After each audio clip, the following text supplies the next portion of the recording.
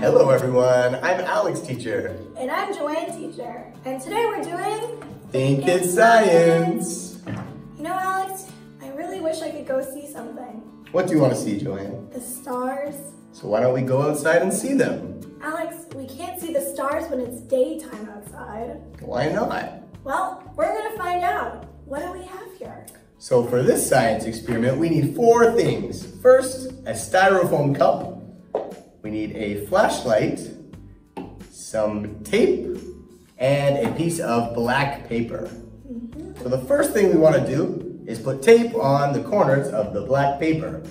We also need to poke holes in the bottom of our styrofoam cup. Like this. Maybe about six holes. Just like that. And now we're gonna put our black paper on the wall. There we go. Now let's start.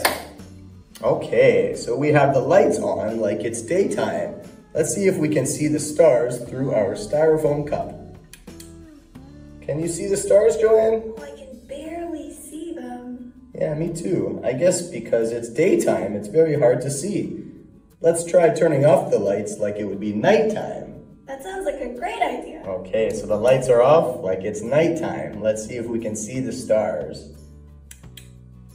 Oh, I can see them much clearer now. Yeah, look at that. They look so pretty.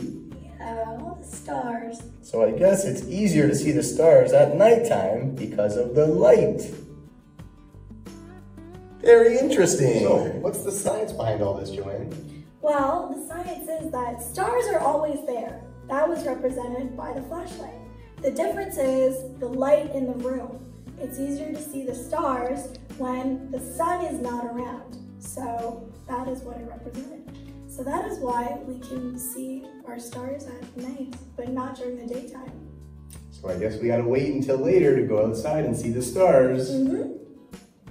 Yay, science!